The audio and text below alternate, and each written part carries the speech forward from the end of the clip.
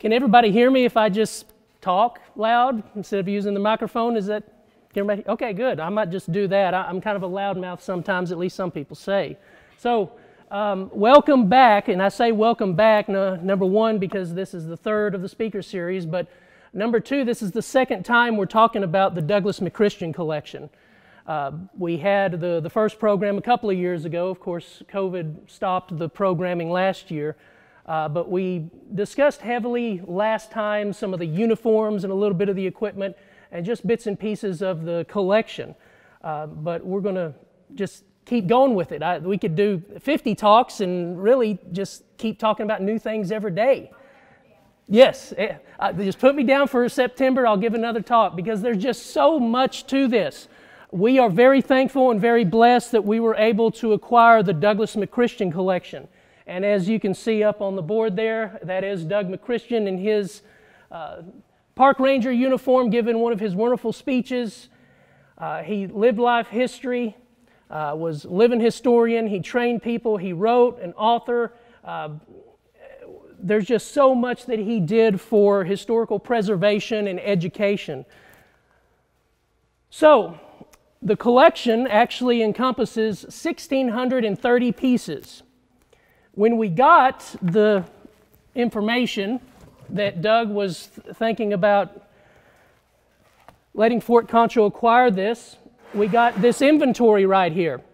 And the inventory is only about 700 pieces. And so we were excited for that. Going through this inventory, you will see that there are quite a few pieces that are very rare, maybe one of a kinds. Uh, many pieces are duplicated, but even the duplicates are different one way or another from the others. So we were excited just seeing this. And it's always, if you want to know the proper information, you go to the source. And it's usually the person who writes the book on it, right? You go to the person who wrote the book on it. And he wrote the book on it. So he wrote two books. This is a two volume set and one right here. And this is about uniforms, weapons, and equipment for the Indian Wars era, for the enlisted men specifically, a little bit about officers, but more for the enlisted men. And so he goes through and he chronicles and he studies and he talks about why uniforms would change and the different variations and the different types of items that they carried with them. And in and all that, he would include photographs. Well, the photographs are actually these pieces here. So he collected all of this stuff in his lifetime and utilized all of that to write the book about it. So when we talk about the variations of a uh, campaign belt, for example, the Type 1, the Type 2, the Type 3, it's really Doug who laid all that out. Uh, he collected all that, but he had a mind for collecting that he was going to try to get a little bit of everything and all the variations of it. Now, there are a few limitations to the collection because there's just no way he could acquire everything because some things are so rare there's only one or two or maybe three in existence. For example, this right here. And I thought I was going to trick you and say it's an original and put it on and then drop it on the floor and everybody gasped because I just dropped a $20,000 jacket. But I decided not to give you heartbreak and heartburn. But this is what is considered the 1872 pleated blouse. And Doug wanted one of these, I can guarantee you, but there's only just a couple that are in existence one at the Smithsonian, and I think one at Little Bighorn. And that's it. They are just not out there anywhere. The soldiers despised this jacket because it had the pleats, it didn't fit right, it was just odd looking wearing it, and they didn't really like it. So a lot of it was probably junked afterward. Sold off junk. Somebody wore it as a civilian because they found it at a, at a fire sale, uh, but he wasn't able to acquire one of these, so what did he do? He made a museum quality reproduction. So I can actually wear this one. I can put it on and wear it. But everything else, except for just a couple of pieces, he found and was able to find some wonderful pieces that are identified to particular soldiers, identified to particular units. So, 1,630 uniform pieces, equipment, documents, and other items, and it was a life's work for Douglas McChristian to acquire all of this. He spent 35 years in the National Park Service, many Western historic sites uh, would come down to Texas, and uh, I, I, know a lot of the volunteers in the early 90s would go up to Fort Davis, and Doug McChristian would be the first sergeant, and he would teach them living history, and he would teach them about the uniforms and equipment. So he spent a lot of time in Texas as well. Um, friend of Fort Concho for many years. Bob Bluthardt, our director, was a close friend of him. Uh, I never got a chance to meet him, but I know of him. And I've utilized these books for a long time. So when Bob came up to me and said, Well, we got a chance to acquire the Douglas McChristian collection, a little tear comes out the side of my eye because I know what's in those books. I was very excited. This is one of the largest privately owned collections in the nation. This is Smithsonian quality stuff, ladies and gentlemen. Uh, as I said, some of the pieces are one of a kind, and some of the pieces you will never see anywhere else. And so we are very blessed to have that. But one of the largest privately owned collections of its kind in the nation. And it really concentrates on the enlisted men, as I said. So a lot of that type of stuff. Not only does this highlight the history of the 19th century military, but these objects honor the legacy of a recognized scholar and historian. This is Doug here. And I always like to take him with me every time I give a speech, whether it's in a PowerPoint or whether I have a photograph of him. This is Doug. This is his legacy right here, these type of things. Tragically, Doug passed away in 2018 after a long battle with illness. Um, he knew that he was going to pass, and that's why he contacted Fort Concho. Uh, why did he pick Fort Concho? Well, as I said, he was a friend of the fort. But he also knew that Fort Concho had a little bit different situation uh, as opposed to the National Park Service and maybe some state parks. He was really worried that the collection might be sent somewhere and it be split up and be sent all over the country. And he was really worried that if the National Park Service was to get this, that that's what would happen. So he knew that Fort Concho, being city of San Angelo, being run by the city of San Angelo, that we have the capability of keeping it all here in one piece. And that's what was so appealing. Not only did he like Fort Concho and the staff, but he knew that we could keep it together, and that was another reason for bringing it here. So, after many months of back and forth of discussing and negotiating, um, and then his passing, unfortunately, uh, we decided that it was time to go get the collection. So, with the help of Fort Concho members, uh, the surrounding community, and the Fort Concho Foundation, we acquired the funding that it took to purchase the collection, and we went up to Arizona, to Tucson, and picked it up. So when we got to his house, of course, this is the first time that I went to his home. Bob Bluthardt had gone up there and had been to his house sometime, uh, a few times actually. Uh, he had everything out. He had a room added onto his house just specifically so he could put all this stuff out and enjoy it. That's my problem. I have collectibles and most of them are in a box. How can I enjoy that? Because everything is in a box. But he made this room, separated this room out, and put everything out there. So I know it's hard to see, but you can see all the hooks, uh, cartridge boxes, uh, belts, cartridge belts right here, um, cups all up at the top right there, holsters hanging right here. He had a bed set up with uh, original framing and uh, a mattress and pillow that was original. So all of this was out and he was enjoying it, right? So this is what we came to. Uh, the 700 pieces we were expecting turned into 1,600 pretty quick.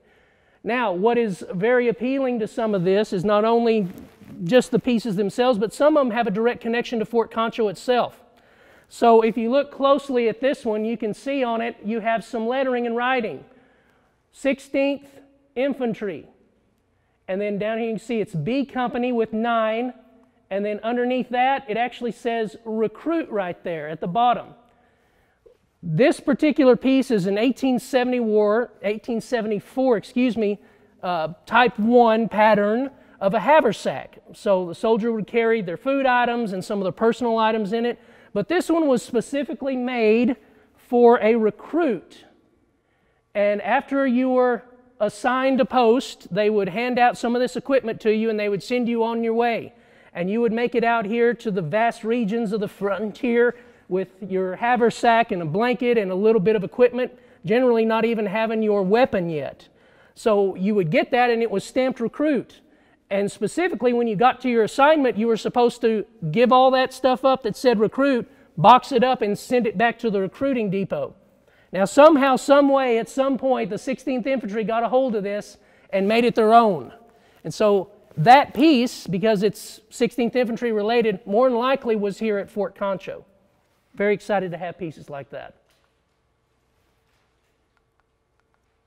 oh. There we go.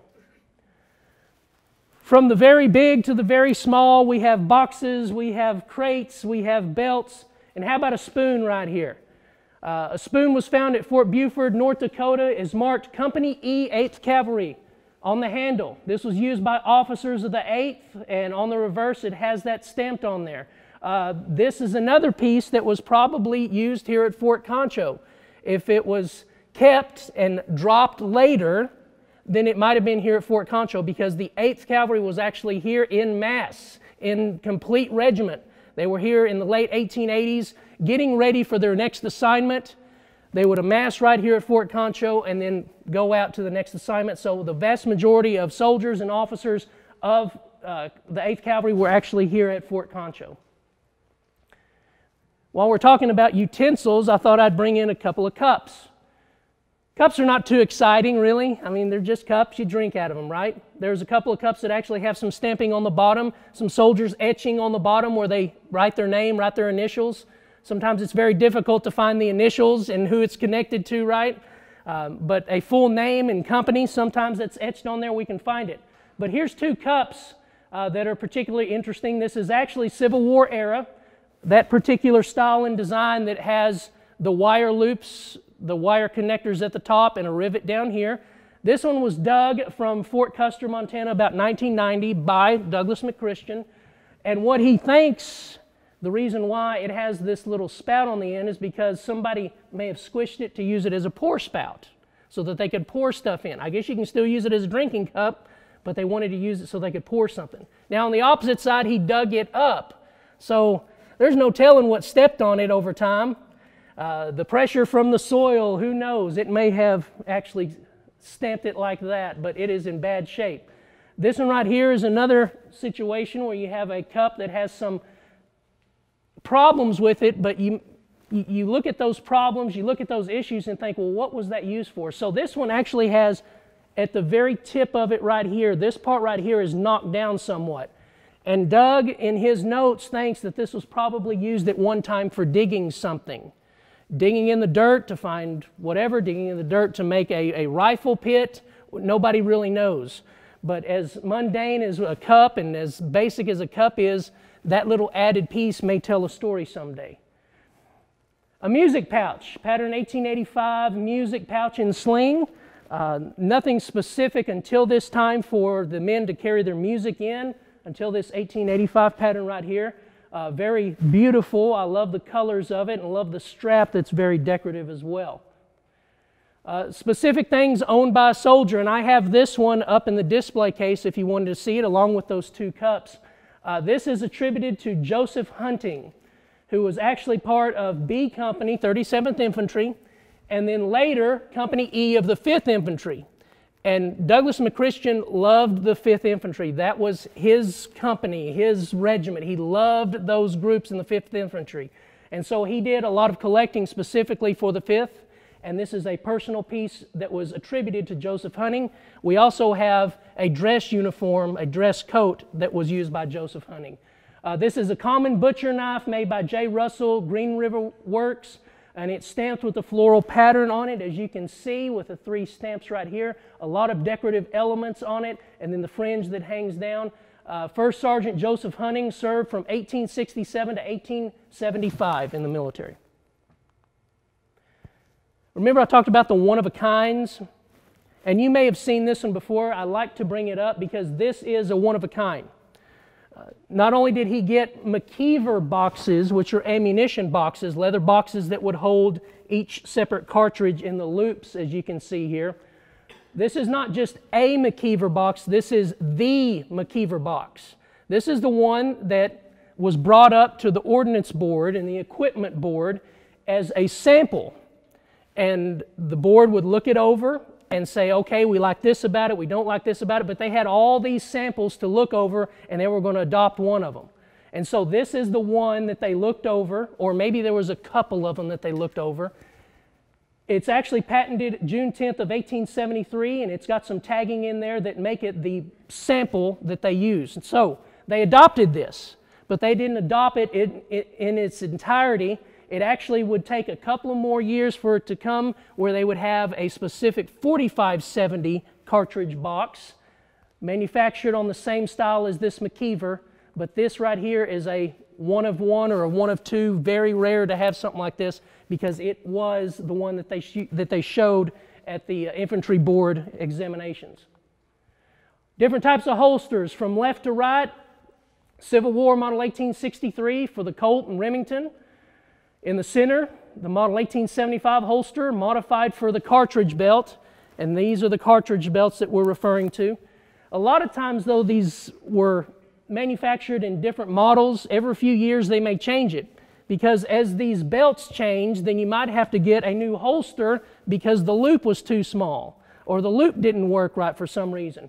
So at the very bottom, the model 1881, which is the one on the right here, uh, this is the first type 2 inch loop from March 1881, but they had five separate patterns of this because the belts just kept getting wider and wider, and they'd have to make a bigger loop and a bigger loop. So there were five different patterns of this that had a bigger leather loop as it continued on. Anybody ever heard of this term?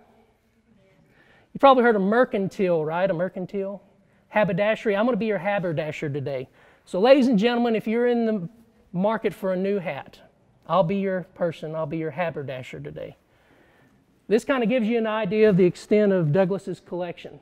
So, say you want something very fashionable and trendy, something modeled after the French, uh, something to go out in the evening, you can have a forage cap.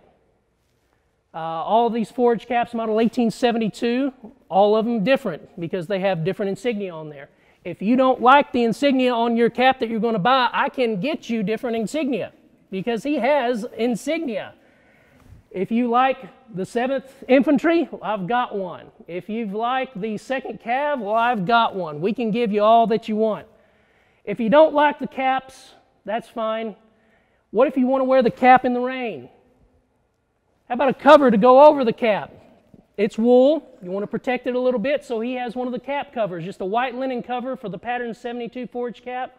Uh, this was under contract of 1894, but you put it right on top and it would protect it. You don't want one of those? How about a dress helmet?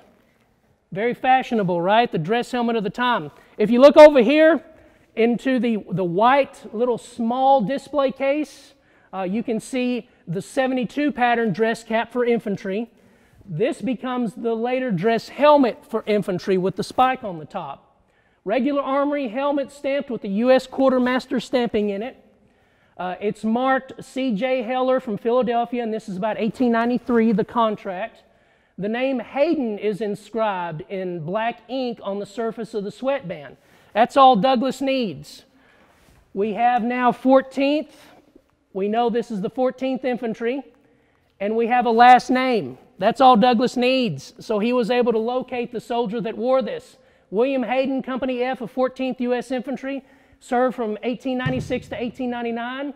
He enlisted in 1896 in Portland, Oregon, and was discharged at the rank of corporal in the Philippines in 1899.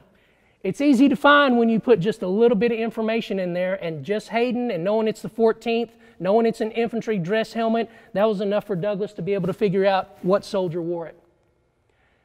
You want something for the summer? You want something to protect your ears? How about a campaign hat? 1890, 1889, excuse me, campaign hat. What's special about this one is that the government decided that they were going to save just a little bit of money, and instead of putting a separate vent on the side to keep your head cooler in the summer, they just poked holes in it it's a lot cheaper to poke holes than to put a separate brass vent on the side, so that's going to save a little money. All right, how about something really specifically for the summer? How about a dress, I mean a, a summer helmet, pattern 1880 summer helmet, modeled after, anybody know what foreign army this is kind of modeled after? The British, their pith helmets, right? Modeled after the British. They got a lot of ideas from European armies and would utilize that. I believe this is kind of modeled after some Swiss pleated clothes that they had, that 72 blouse. So this is the early pattern summer helmet. And where do you think some of the first places some of the summer clothes would go to?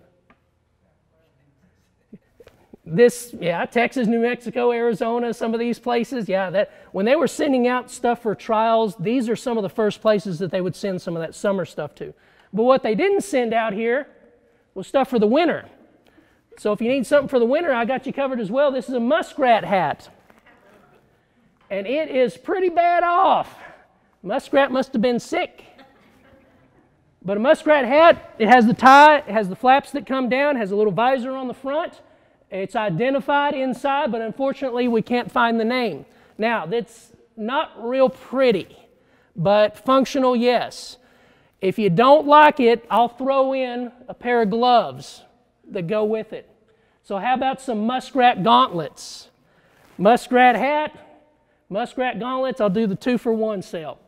All right, so again, a little bit of information on these pieces, and Doug was able to locate these soldiers and get a little history of them. So, this one right here was actually stenciled Daniel D. McCarthy on each of the palms of the gloves, and it's marked 7 and stenciled at a different point D7, which leads you to believe it's 7th Cavalry, Company D. But he didn't serve in the 7th, or excuse me, he didn't serve in Company D of the 7th. He served in Company E of the 2nd, later Company F of the 7th. So I don't know the story of how he got a Company D glove because he served in Company F. But he served from 1870 and eventually he deserted in 1882. He was actually captured or surrendered in 1889. But when I did the research on what Doug had found, I found it very interesting that this individual suffered from frostbite of the fingers. So I don't know if the gloves were used at that time or not, but he had a lot of ailments. So whenever he was trying to get pension funds in 1916, he wrote, I'm the claimant in the above indicated claim and have to state that I'm not subject to any disability of service origin other than those allegedly named frostbite of both ears, feet, and the fingers of both hands, deafness in both ears, and in fact, some of the soldiers that uh, were witnesses for him actually said that he really had to speak up for him to ever hear anything, that they really had to yell out to get Daniel to hear him. Uh, he also had problems with his abdomen because he was kicked by a horse at one point and stomped by a horse at one point. So he had a hard time. Um, but 1916, he was able to give that information that he was trying to get pension money, uh, but I'm wondering why he didn't utilize the gloves at that point. They said that he was almost frozen solid on horseback that when this occurred and he was up in the, the Dakota territory, that they actually physically had to pick him up off the horse and he was so stiff they thought he was dead. I love the uniforms and I brought two there. Also have one inside of the big display case. Uh, I didn't bring as much because I brought a lot last time, but let me go over a few of the uniform pieces. The first one I brought. And so, what I did, my intern for this semester from Angelo State, Hannah and I, we just kind of picked a couple of boxes and said, let's see what's inside. So, we picked them up and said, we're going to use those. So, I picked out this one right here, the cavalry dress coat, which is a pattern 1872, but it was used by Patrick McManaman from Troop D and Troop N of 4th U.S. Cavalry. He was actually part of recruiting training, which was Troop A of the Mounted Service, and then eventually Troop E of the 5th. He served two terms in the Army from 1888 to 1898 in various units, which are laid out there. But in 1891, McManaman and five other soldiers were indicted but found not guilty for murdering a civilian in Walla Walla City, Washington.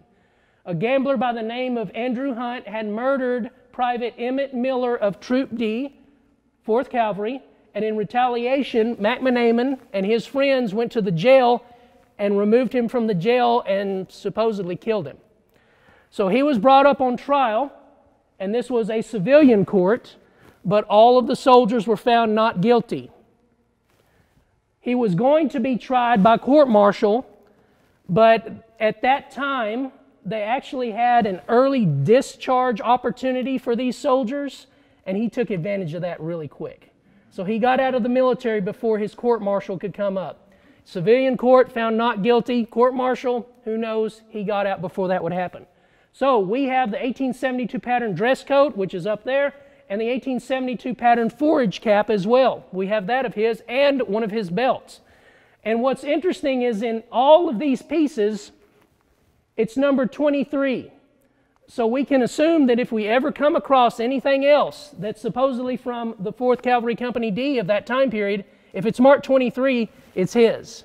That's apparently what his soldier number was, because everything is marked 23. This coat, though, is an 1872 pattern, and he served in the 1880s. So by that time, they had a new pattern of coat, of dress coat. What had happened, and this happened a lot of times with soldiers, you had an allowance, a clothing allowance, when you came into the military. And you would use that allowance money towards buying of some of these pieces. And so if you wanted a new coat, well, you would use some of your allowance towards this brand new coat. If this coat was one of the worst coats in the military, nobody wanted to get it, then it would cost less than the brand new coat. So you might opt to spending some of that money on the cheaper one, right? So what had happened apparently is this coat was not originally issued to McManaman. It was issued to another soldier who was a sergeant because you can see very lightly the stitching marks for the sergeant chevrons and some of the service chevrons on that dress coat a veteran coming out of the military having that coat, he may opt to sell it. He might not need it. He may not care about, you know, I was in the military and I want to keep all my stuff. He just wants to get rid of it. So apparently he bought that coat off of a veteran, took off the chevrons, took off some of the straps in the back to make it closer to the 1880s regulations, and wore it in the 1880s. And this is what was on the inside. Patrick, McManaman, and then D fourth, number 23, upside down. And he really wanted you to know that this was his coat, and you can't really see it, but right above there is a stamp that's specifically his name. He went somewhere and actually purchased the stamp that has his full name on it, and it's in two places inside that coat. So it has stitching lines for the sergeant chevrons and at least three service stripes that were on there for the soldier that wore it beforehand. I like to call these my coffins, and I have one of my coffins here because I felt like a mortician putting these into their little coffins. I like to put them into boxes instead of hanging them because the stress that might be onto the seams over time may do some damage to the coat. So I put them into their little coffins and I work with them and I, I stuff the body and I put stuffing into the arms. I feel like a mortician doing that. But I left this one in there to show you that, and then I have a uh, winter coat over here for you to look at as well. We don't have a whole lot of officer stuff with the exception of this one right here. It's a tailor-made infantry captain's uniform. And I say tailor-made because in the 1880s, there was a real push for them to create what was called the unmade enlisted men's uniforms. And so you could buy a uniform that was not put together, not complete for a lesser price.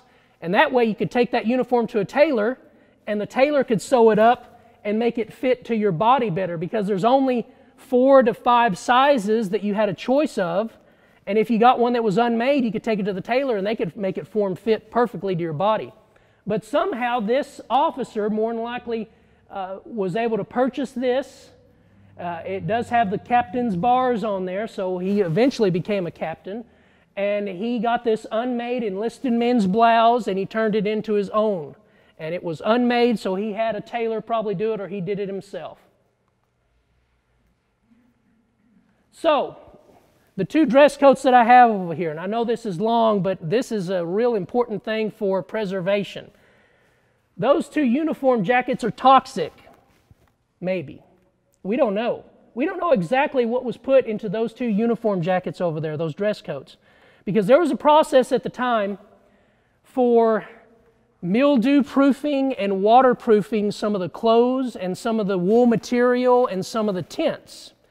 And so inside some of these coats right here, you will see markings from a George, right here, if I can get my, George Coles and Company, and it will be marked on the inside of some of these coats. Well, they had an agreement with the military from 1869 to 1876, this George Coles Company, to put treatment onto the material to keep it from being eaten up by the moths and for waterproofing and mildew proofing. but they never gave the exact recipe of what all chemicals were involved in this. And so it's kind of scary to think about it. In some of the records, though, we know that there was probably copper, zinc, and mercury put into the chemical vat. Uh, there was probably some copper, copper sulfate, which was used as a protection against mildewing. Uh, there was the chloride of zinc and bichloride of mercury, and there was uh, gelatin and glycerin for water repelling, and there was soaps that were put in there, and alum that was put in there, and all this stuff was mixed up and put into a vat. And then the people that were working at that company would go in there barefoot and put the material inside and stomp on it. Almost like you're doing the grapes, right? They would stomp on it they were exposing themselves to high concentrations of whatever chemicals were in there. And the military would sometimes question exactly what's in there and how safe is it. One of the officers at the time, and Doug couldn't find the exact officer that said this, had a quote about this particular company's treatment.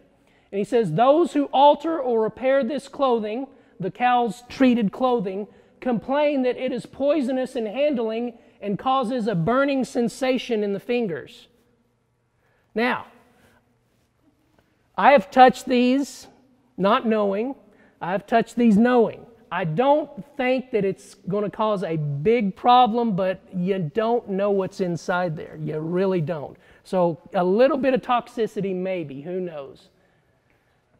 I have my gloves on, they had their gloves. So, we have a pair of dress gloves. So, from the dress uniform, uh, in ceremony and parade, you would have your dress gloves with was that Berlin material, that Berlin cotton material. So regulation pattern uh, Berlin dress gloves. And if you notice on these, you actually have elastic right there so they form fit to the wrist. How about some documents? We have documents, we have books, we have photographs. This is a collection from George Wilson. George Wilson of the 9th U.S. Cavalry. But what makes it very interesting, his collection, is that he served with the 9th in seven separate enlistments from 1873 to 1903. Seven separate enlistments. So we have commissions and discharge type papers and some lettering and stuff from him and his time period. Here is his non commissioned officer's appointment to a sergeant for Troop I, 9th U.S. Cavalry, and that was in 1888. But nine, or excuse me, seven separate enlistments. Uh, right here, I was able to locate in one of the books about Buffalo soldiers. This is our George Wilson right here. In the book, it actually says his name is James Wilson, but there was no James Wilson in Troop I. It was George Wilson. So that supposedly is a photograph of him. And what these soldiers are doing right here, uh, all part of the ninth, is Edward Hatch, the colonel of the 9th, had died, and this is the escort, the honor guard. And you notice that they have their Berlin gloves on as well. Dress uniforms, dress helmets, Berlin gloves, and they were the honor guard for burial in 1889. I love the photographs. I have quite a few of them in the display case there, so I encourage you to go look. But a lot of photographs that are identified to particular soldiers. Um, some particular regiments may not know exactly who the soldier is. Uh, these are two officers, one of them Lieutenant John Bigelow, 9th and 10th Cavalry. This is probably when he was with the 10th. And you can zoom in when you have this on your computer screen to his dress helmet right there. And it actually has, it looks to me like 1 0. So this is probably when he was with the 10th, which makes it about 1882, time period circa 1882. Uh, this one right here Garrard, Joseph Garrard, who was the regimental adjutant of the 9th. This was actually in George Wilson's group of letters and other pieces, and we don't know exactly why George had it. Maybe they were friends, maybe he admired the man, I have no clue. But this photograph of Garrard in his West Point uniform uh, was in George Wilson's group. Beautiful photograph. You don't see many of families, Buffalo soldiers and their families, the African American soldiers of the time. So this is a photograph of an unidentified black cavalry corporal and two women who are presumably wife and daughter. I love the look on her face, the daughter standing, because she has just the slight smile, just very slight smile. You don't see many people smiling in the photographs of that era, correct? just a slight smile. They are in their best.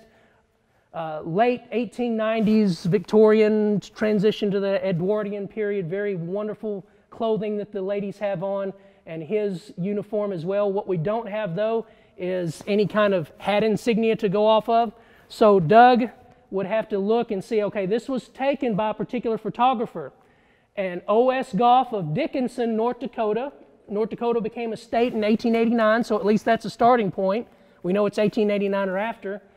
Goff conducted his business in and around Dickinson during uh, the 1896 era, few years, 1896, and was known to visit Fort Custer. Part of the 10th was posted at Fort Custer prior to the Spanish American War. So it's very likely that this soldier is from the 10th Cavalry. On the back of the photograph is written in ink. Really, you can't read it all, but it says colored residents. And then in blue ink, it says Friends of Elizabeth Proctor. I don't know if we'll ever be able to find out who was connected and who the friends were, but at least it has that on the back. This one right here is an interesting piece because this soldier in his history, he, he was a big, big fat liar. He was a deserter in the military. And he served one enlistment. And right here, so from November 8th of 1878, he was with the 3rd Cavalry and deserted March 7th of 1882. A few months later in November, he would enlist again under an assumed name. So his original name was Frank Ballentine, that's his real name, but he enlisted later on as Fritz Braun. And so Fritz Braun went to serve 26 years in the military. Through the Indian Wars era into Spanish American War, he fought in Cuba, he was in the Philippines. We don't really know why, but why would you enlist for that shorter period with the third, desert, and then a few months later go back into the military for another 26 years. There could be a lot of reasons why, and we may never know. Something may have happened. He may have been, you know, wanted for something, wanted civilian life, wanted in military, maybe a court martial coming up. Further research would probably bring that out, but not 100% sure why he would desert and then join and serve for 26 years after that period. Fritz Braun, alias, that's his name there, that's a photograph. Very large uh, portrait of him. Books and manuals. Here is one that's very interesting because it is one removed from Henry O. Flipper. We don't have anything associated with Henry O. Flipper, but this is one removed from that. So, what this is, is a non commissioned officer and soldier's law book and regulation book uh, from 1864. And it's inscribed Merritt Barber, 34th U.S. Infantry. Has anybody ever heard of Merritt Barber? But you've all heard of Henry O. Flipper, right? You've all heard of the trial that was against him, Fort Davis, right? This is his defense. This is the lawyer that came to the defense of Henry O. Flipper. And so he had this book early on in his career. Eventually, he was transferred to the 16th Infantry, and he would serve as legal counsel for Lieutenant Henry O. Flipper during his court martial in Fort Davis in 1881. Flipper wrote in his book, Like a bolt out of the clear sky, I received a letter from Captain Merritt Barber, attorney of the 16th USI, U.S. Infantry, White, offering to come and defend me. I've never seen or heard of him before, but I accepted his offer at once, especially as I know it would cost me nothing, officers not being allowed to charge anything for defending another. Uh, the captain came to Fort Davis and actually lived with Flipper for some time while the trial was going on. Captain Merritt Barber described his credentials this way My opponents say if you were to cut my throat, I would bleed acid.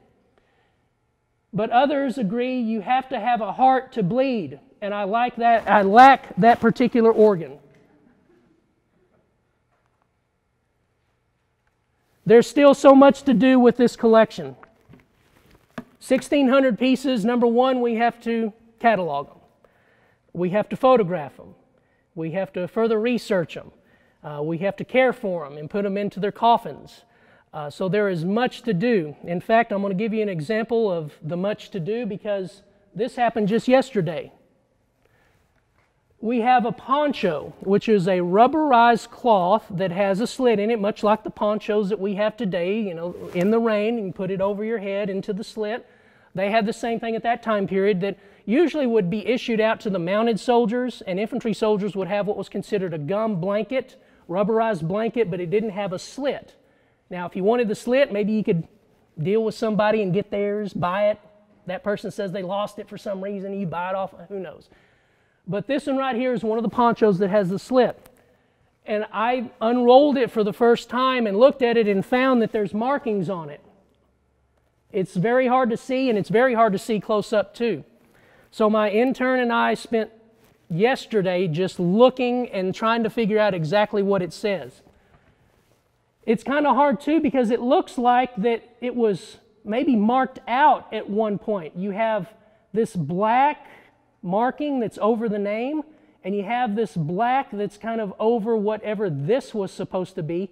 But for some reason, the company B was spared and it didn't have any markings put over it. So what we decided that it either said Boyle or it said Boyette, it said Hanson or Handsome, I don't know, or maybe it said Ransom. Company B and we looked at this and figured out it says to N C I N. Second North Carolina Infantry. Cross our fingers. This size of poncho is supposed to be Spanish American War era. Some of the earlier ponchos were a little bit bigger. So I automatically go to the 1890s and see if I can find any information on the 2nd North Carolina Infantry Company B. And I found it. Easy. List of officers, list of enlisted men, but nobody named this. Dang. So I kept looking and kept looking and thought, you know what, I'm just going to go and try to find anybody named this. So I'm typing in handsome and I'm typing in Hanson, and then we look at it and say, could it be ransom? So I type in ransom, Boyette, and all of a sudden I found the lights come on, right? I found it. Confederate soldier. Confederate soldier of Company B, 2nd North Carolina Infantry. Uh, he was a prisoner of war two times, uh, lived through the, uh, the war, uh, was a farmer later on in his life, and for some reason we have this that might be a Spanish American War issue, but it might be issued in the Civil War as well. So there's further research that needs to be done on something like this. Uh, but we were very excited to be able to put a name to the object. Ransom Boyette, Company B, 2nd North Carolina Infantry. What else do we need to do? Well, as I told you, we like to have, you know, the books. The individual who wrote the book is usually the most knowledgeable on it. Well, he didn't just write books about this stuff, he also wrote books about the enlisted men and forts and some other topics. And he wrote, Douglas McChristian wrote a lot of articles. In fact, that McManaman story is in an article, I think, in True West magazine. But he also wrote this book right here. It's called Regular Army O, and it's all about the enlisted men. And so it chronicles their lives from enlistment to retirement. So, what are we going to do with McChristian's collection? My goal and my hope is that we create an exhibit that chronicles the enlisted men's journey from enlistment to retirement. And then, in and amongst all that information, we're going to sprinkle Douglas McChristian's collection in it. So, if I've got 20 dress uniforms, if I have one place that I can put a dress uniform, I can change that out 20 times. If I have a place that I can put some field equipment, oh man, can I change that out? I can keep changing that stuff out. But we'll tell the story, hopefully, of the enlisted men from their enlistment to retirement and then utilize Douglas McChristian's collection throughout and kind of give you an idea of the stuff that they had, the stuff that they wore, the stuff that they used. I hope you're as excited as I am about this stuff.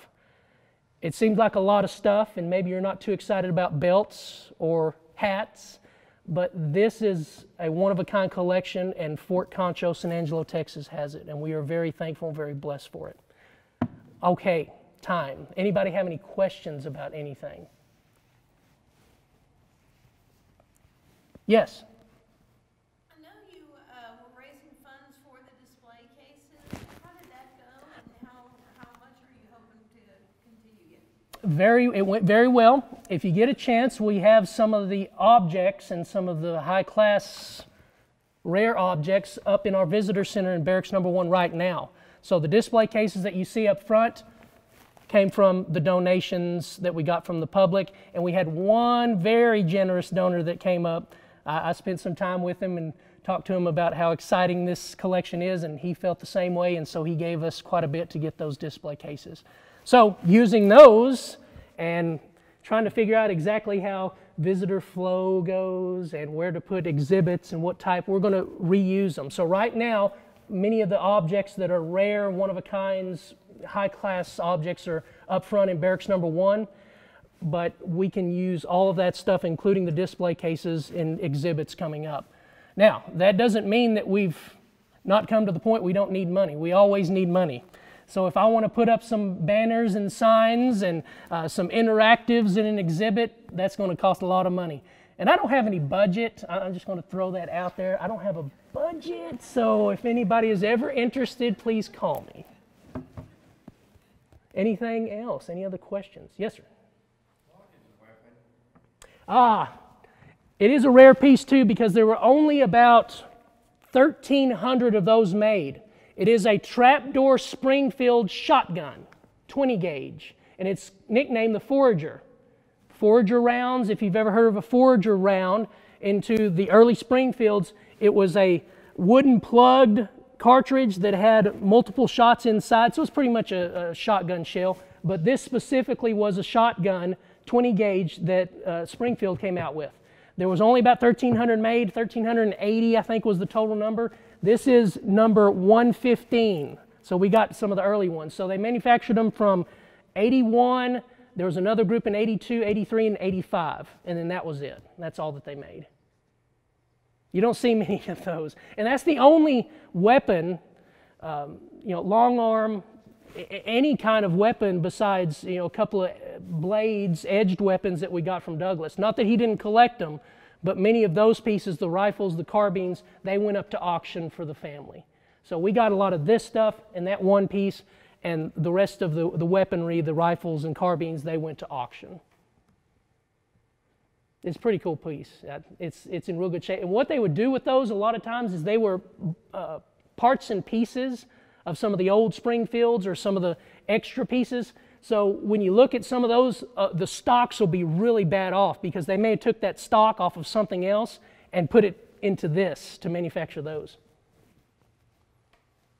Yes?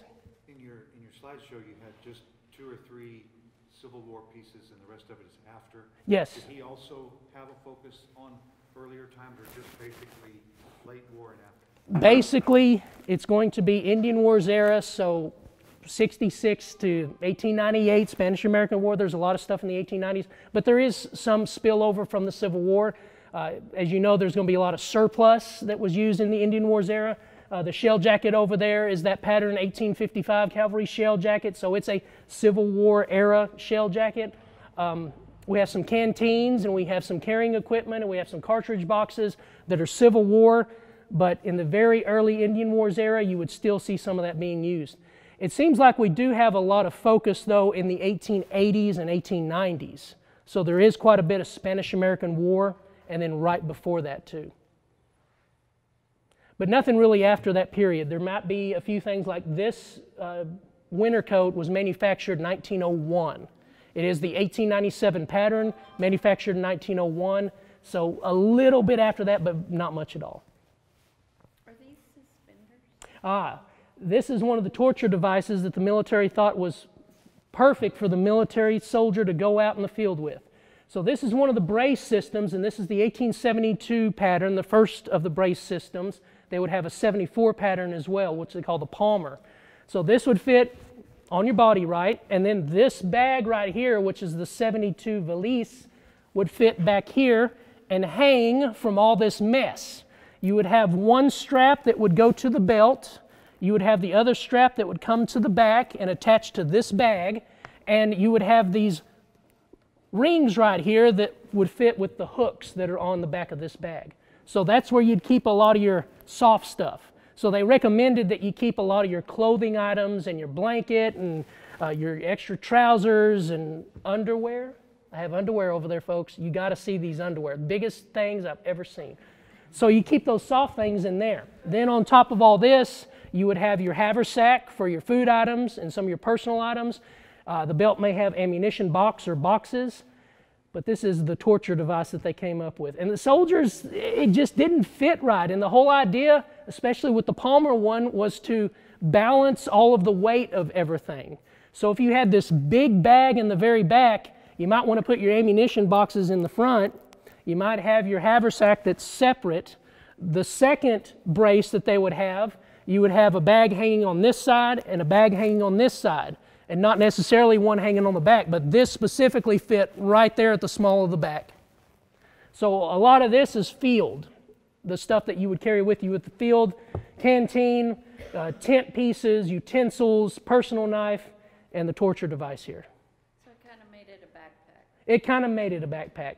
Later in 78, they will come up with a whole new system that had a separate backpack, a separate canteen, and a separate haversack. And it all just had separate straps that would fit over your body. No more of this mess. They might leave this stuff at home in the barracks whenever they go out in the field. The commander said, This is just not working. You know, their, their first sergeant, their, their lieutenant and captain, they would say, Forget that stuff, just leave it, roll your stuff up in your blanket, and let's go. Yes? There was a uh, undershirt that had, I think, a floppy collar, and the soldiers didn't like it, they cut that collar off. So when they went out into the field, that's when they wore a kerchief, not the John Ford yellow one, but, uh, I wonder if they wore that undershirt in garrison without a collar. They did have a specific undershirt, and it was collarless. There was a, a overshirt that was the 78 pattern that was a stand-up collar, so it didn't have a fold-down collar. The 74 was really big, and I, when I wear my 74 shirt, it really rubs on me too. And then the 81 had a fold down collar, is a little smaller than the 74, and the 83 had a fold down collar too. But I don't care which one it is, I always get chapped on my neck. So, yeah, if it's not a yellow handkerchief, they may have put something in there to protect their neck. Uh, if you look at soldiers from the 1850s, 1840s, and my friend over there from Fort McKavett can attest to that, um, they had leather that they would put in here. The leather stocks that you would, you know, form fitting, make your neck stand up, it protected a little bit. But they had those high uniform collars that would come up, kind of like what you have with that shell jacket on this side. You can see how high that collar comes up. Man, that would rub pretty bad. I don't know if they suffered that bad, but when I put it on just for Christmas at Fort Concho, in three days I'm already red and hurting. So I have to put something on there to protect myself. But you may be talking about that early 70s shirt that had that big flop that came down. Anything else? Sir. There the? There are some that have just the minor moth damage, you know, damage to the wool. Uh, this bag right here has some damage from storage, from where the creases are, and that's why I've got it puffed up. I stuffed it so that it doesn't have a full crease. We have the Civil War knapsack, we have one of those, the soft one, and it's got some damage from storage, right? Because that, that uh, rubberizing material on top of the, the, the canvas, the linen, whatever it was, sometimes that stuff will crack really bad if it's not stored correctly.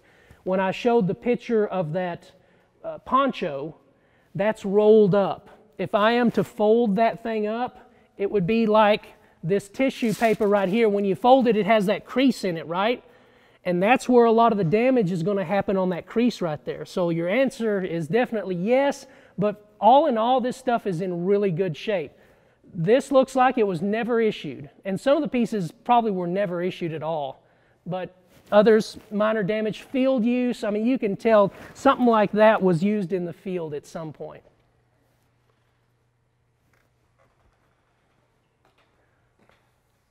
Well, if there are no other questions, I thank you for coming out. Uh,